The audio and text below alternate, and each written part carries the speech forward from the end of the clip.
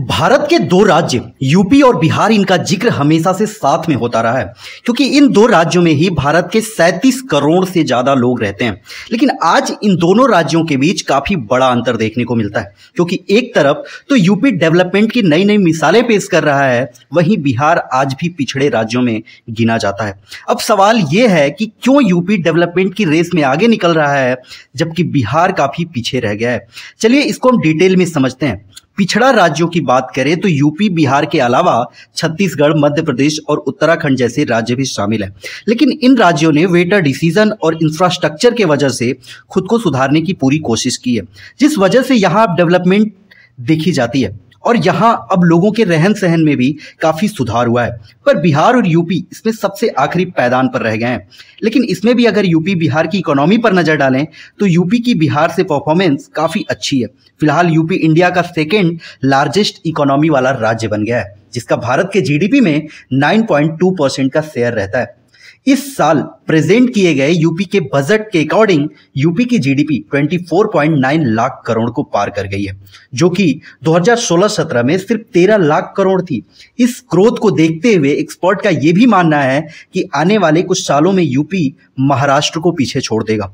वहीं हम बिहार की इकोनॉमी की ग्रोथ रेट को देखें तो इसमें भी सबको काफ़ी हैरान किया है। पिछले 15 से 17 सालों के दौरान बिहार की जीडीपी बिहार की बजट की साइज़ करीब 10 गुना हो गया है। और आज ये देश के पाँचवें फास्टेस्ट ग्रोइंग स्टेट में गिना जाता है, जिसकी जीडीपी 8.98 लाख करोड़ है। अब भले ही इसमें पिछले सालों के मुकाबले काफ़ी ग्रोथ आई हो, लेकिन अब भी बिहार और यूपी की जीडीपी में बहुत बड़ा अंतर है। लेकिन दो स्टेट की ग्रोथ मापने के लिए जीडीपी एक पैरामीटर नहीं हो सकता, क्योंकि दोनों स्टेट के पॉपुलेशन में भी बहुत बड़ा अंतर है। यूपी की पॉपुलेशन जहाँ 24 करोड़ है, वहीं बिहार की पॉपुलेशन तेरह करोड़ है। और ऐसे में अगर पूरी स्टेट की जीडीपी को साइड में रखकर अगर हम पर कैपिटा इनकम देखें तो हमें ज़्यादा समझ आएगा। 2023 में यूपी की पर कैपिटा इनकम तिरासी हज़ार पाँच सौ पैंसठ रुपए थी, वहीं सेम ईयर बिहार की पर कैपिटा इनकम चौवन हज़ार एक सौ दस रुपए थी। यानी इस मामले में भी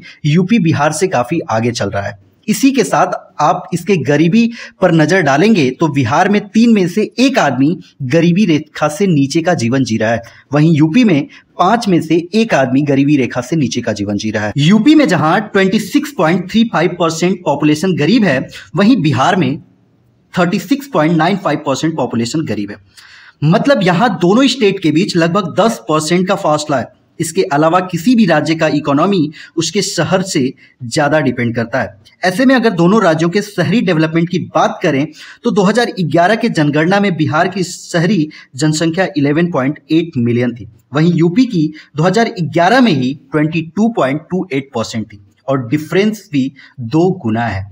अगर इन सब चीज़ों की बात कर ही रहे हैं तो शिक्षा को कैसे भूल सकते हैं? लेकिन बिहार इसमें भी यूपी से छह परसेंट तक पीछे चल रहा है क्योंकि जहाँ यूपी का लिटरेसी रेट 67.7 परसेंट है, वहीं बिहार का लिटरेसी रेट 61.8 परसेंट है। और अगर हम दो स्टेट की पब्लिक इमेज को भी देखें तो जहाँ बिहार आए दिन हो रहे दंगों के चर्चों में है, वहीं यूपी नए नए डेवलपमेंट की अखबारों की हेडलाइन बनते दिखाई दे रहा है। हालाँकि ऐसा नहीं है कि बिहार के मुकाबले यूपी बहुत आगे है, लेकिन कुछ मामलों में यूपी आगे है।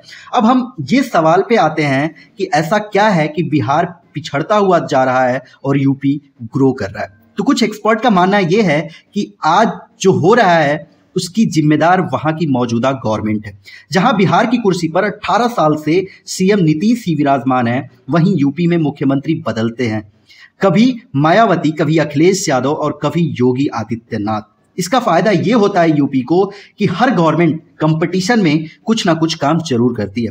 हर सरकार ने कुछ ना कुछ काम किया है। लेकिन बात यह है कि ऐसा नहीं है कि बिहार में भी ग्रोथ नहीं हुआ है। एक सरकार होने की वजह से बिहार में भी ग्रोथ हुआ है। लेकिन बहुत ही धीमी गति से, जो कि आज भी यूपी से काफ़ी पीछे चल रहा है। यूपी बिहार के कंपैरिजन में बिहार का मीटर थोड़ा स्लो नज़र आज भी आता है। आपका क्या मानना है? कमेंट सेक्शन में लिख के ज़रूर बताइएगा। मेरा नाम है संजीव मिश्रा। मिलते हैं नेक्स्ट वीडियो में।